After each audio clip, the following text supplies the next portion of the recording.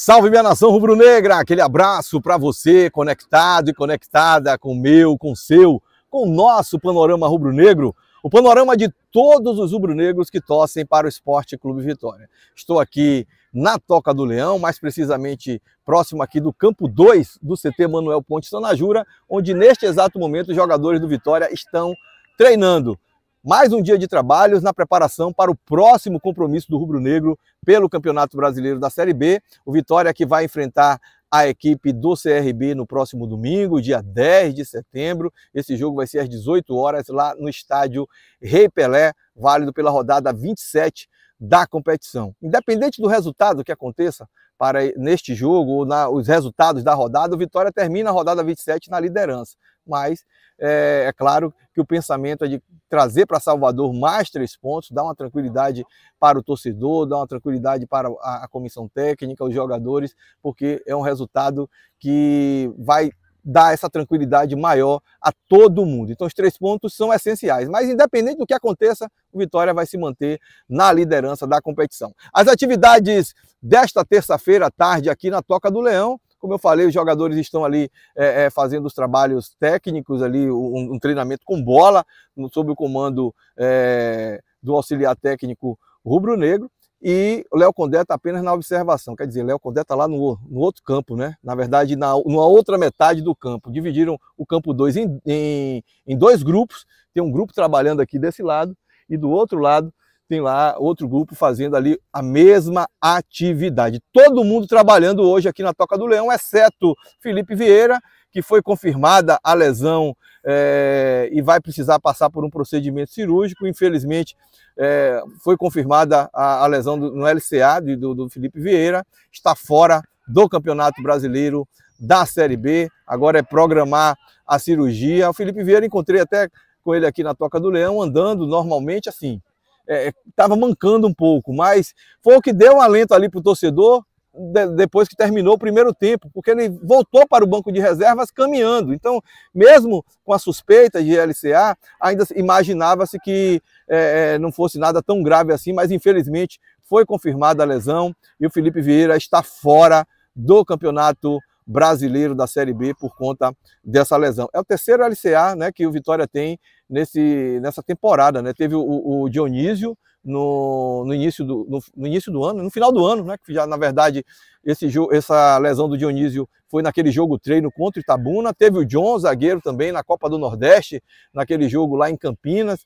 E agora o, o Felipe Vieira. Então, uma situação que deixa triste o torcedor, por conta do momento que o Felipe Vieira estava vivendo no Vitória. Vinha fazendo alguns bons jogos na lateral esquerda, inclusive torcedor do Vitória reclama muito essa questão do apoio dos laterais, e o Felipe Vieira já tinha é, é, é alguns pontos positivos na parte defensiva, e nos últimos jogos ele estava aparecendo também para ajudar ali no ataque, chegando ali, fazendo alguns cruzamentos é, em, em, alguns momentos dos últimos jogos. Mas, infelizmente, o Felipe Vieira acabou sofrendo essa lesão para substituir o Felipe Vieira. Quem é que o técnico Léo Condé tem hoje no elenco? Olha, o Vicente ainda está na transição, tá? Então, o Léo Condé não vai contar com o Vicente. Tem o Marcelo, que seria a primeira opção. Marcelo, que começou o Campeonato Brasileiro da Série B como titular, então seria a primeira opção.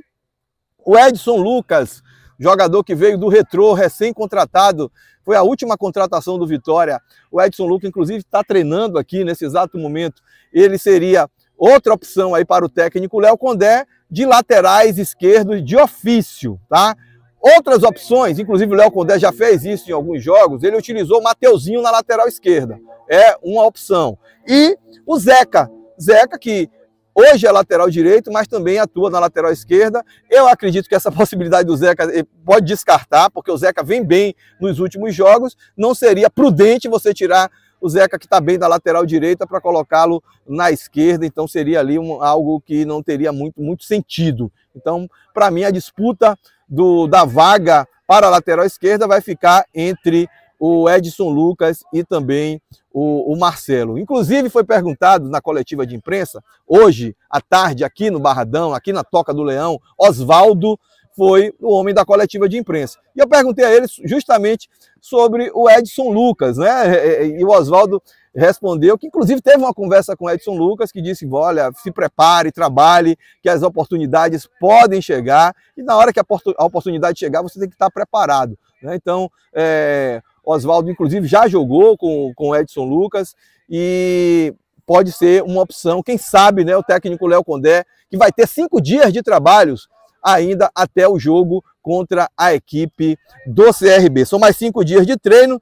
A delegação viaja no sábado à tarde, treina no sábado pela manhã, sábado à tarde viaja e no domingo enfrenta a equipe do CRB lá no estádio Rei Pelé, na capital Maceió, capital de Alagoas. Então a sequência dos trabalhos durante a semana é, mais cinco dias, né? Treina hoje, sempre à tarde, só no sábado que o treinamento vai ser pela manhã, porque a delegação embarca à tarde no Aeroporto Internacional de Salvador, rumo à capital alagoana. Portanto, o Léo Condé vai ter tempo para poder trabalhar. Outra dúvida seria ali, no caso, no ataque, né? O, o, o Matheus Gonçalves retorna a, de suspensão. Léo Condé vai contar com outros dois retornos, com Camutanga, zagueiro, e o Marco Antônio também, que estava suspenso, né? Camutanga, Marco Antônio e Matheus Gonçalves. Todos esses três cumpriram suspensão contra o Mirassol e vão estar à disposição do técnico Léo Condé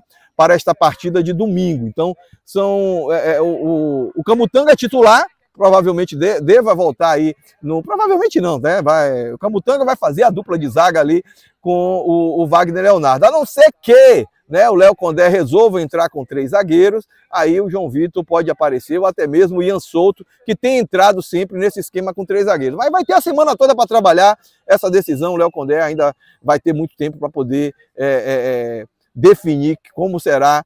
Que, como, é, como é que o Vitória vai entrar em campo nesse jogo contra o CRB.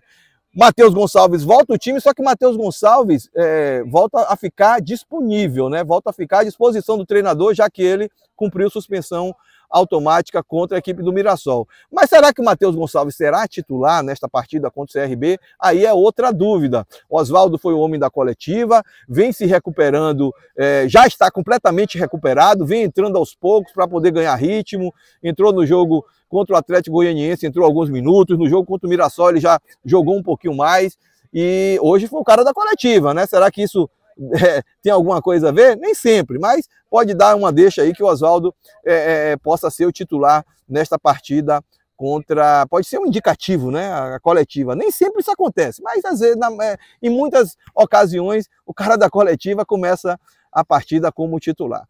Talvez o, o, o Oswaldo é, possa ganhar a titularidade nesse jogo. O Zé Hugo, que entrou no, na última partida, não foi tão bem assim, mas é, ainda é muito preliminar, ainda é muito cedo para a gente falar em formação. São cinco dias de trabalhos que o técnico Léo Condé vai ter para poder montar essa equipe e para poder é, tentar trazer de Maceió os três pontos para bagagem, garantir aí pelo menos até a rodada 28 a liderança, tentar ampliar a margem para o segundo colocado, que é o Esporte Clube do Recife, e também a margem para o quinto colocado. O Vitória hoje tem 35% de chances de conquistar o título, de acordo com a Universidade Federal, o Instituto de Matemática da Universidade Federal de Minas Gerais, e o percentual de acesso, que era de 89, com esse empate, né, esses números mudam a cada rodada, então esse percentual, que era de 89, caiu para 85%. Então Vitória ainda tem hoje 85% de chances de acesso. Valeu? Eu vou ficando por aqui, um grande abraço a todos. Eu peço a você que acompanhou o vídeo até esse momento que deixe o like, isso é importante para que o YouTube entregue este conteúdo a outros torcedores do Vitória. Caso você seja novo aqui no canal, seja a sua primeira vez aqui que você esteja acompanhando um conteúdo do Panorama Rubro Negro, seja muito bem-vindo. Eu sou Guma Guedes, tá bom? A gente está aqui todos os dias com transmissões diárias, programa das 7 às 8 e meia da manhã, com a participação do torcedor, noticiário, é, o dia a dia do Vitória na Toca do Leão. Então, é o único programa diário voltado ao torcedor do Esporte Clube Vitória. Então, vem para cá, se inscreva, ative o sino para receber as notificações de novos conteúdos e vamos que vamos, Deus me livre, não ser Vitória, tá bom? Guma Guedes, direto do CT Manuel Ponte Tonajura, na Toca do Leão, para o Panorama Rubro Negro. Panorama Rubro Negro, paixão e razão em um único programa.